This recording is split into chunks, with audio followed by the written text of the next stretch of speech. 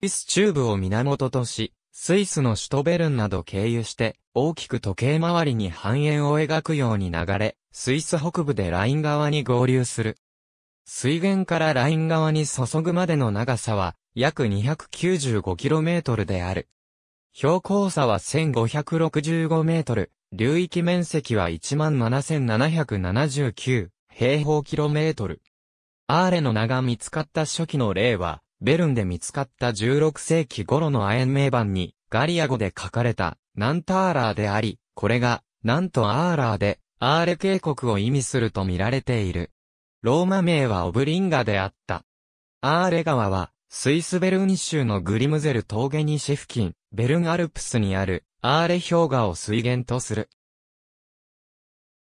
グリムセル湖を出て、フィンステラーホルン山麓沿いに、グリムゼルホスピツの東を通り、レーテリヒスボーデン湖を経由し、ハスリタルを通って北東に流れ、高低差46メートルのハンデグダキグタネンを通り、メーリンゲンで、ほぼ平地に至る。平地になって、すぐに、ブリエンツ湖に注ぐ。ブリエンツ湖には、リュッチネ川も注いでいるので、ここでアーレ川と合流する形になる。湖の西端から出て、インターラーケンとウンタージーンの間にあるベーデリの湿地帯を通り、すぐ西のトゥーン湖に入る。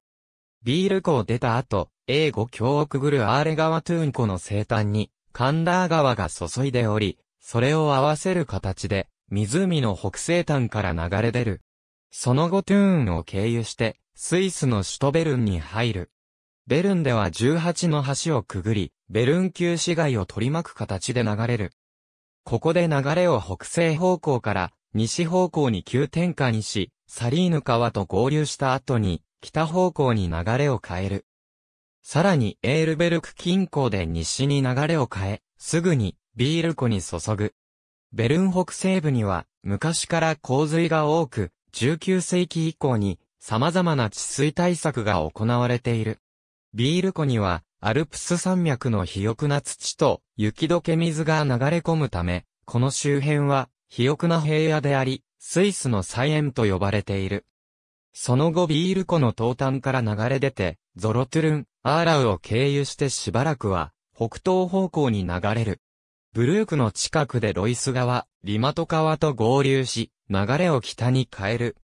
ドイツとの国境付近のコブレンツで、東から流れてくる、ライン川に合流する。ライン川はそのまま西方向に、スイス・ドイツ国境沿いに流れる。メーリンゲン付近には、アーレ峡谷がある。